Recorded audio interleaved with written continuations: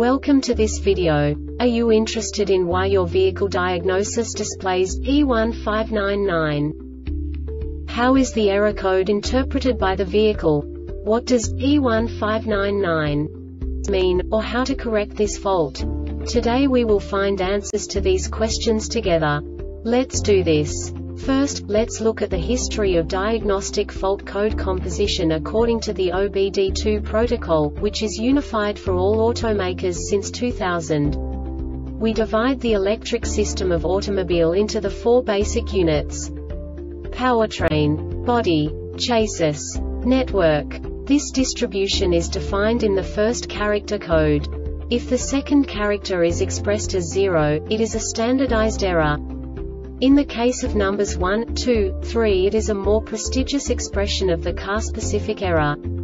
The third character specifies a subset of errors. The distribution shown is valid only for the standardized DTC code. Only the last two characters define the specific fault of the group. Let's not forget that such a division is valid only if the other character code is expressed by the number 0. Our website airbagreset.sk produces useful videos for you.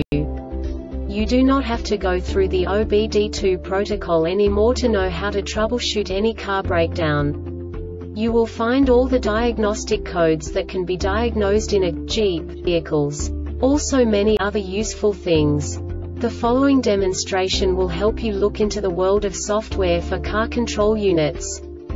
You unbelievably can move the video a bit further.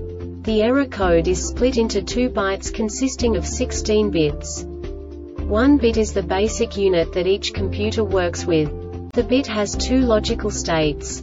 0, low level, 1, high level. By combining the first two bits, the basic character of the error code is expressed. The next two bits again determine the second character. The last beat styles of the first byte define the third character of the code. The second byte is composed of a combination of 8 bits. The first 4 bits determine the fourth character of the code. And the combination of the last 4 bits defines the fifth character. A single byte conceals 256 possible combinations. We now know in what way the diagnostic tool translates the received information into a more comprehensible format. The number itself does not make sense to us if we cannot assign information about it to what it actually expresses. So, what does the diagnostic trouble code P1599 interpret specifically Jeep car manufacturers? The basic definition is battery voltage plausibility failure. And now this is a short description of this DTC code. The BCM has power and ground the ignition is not in the start position.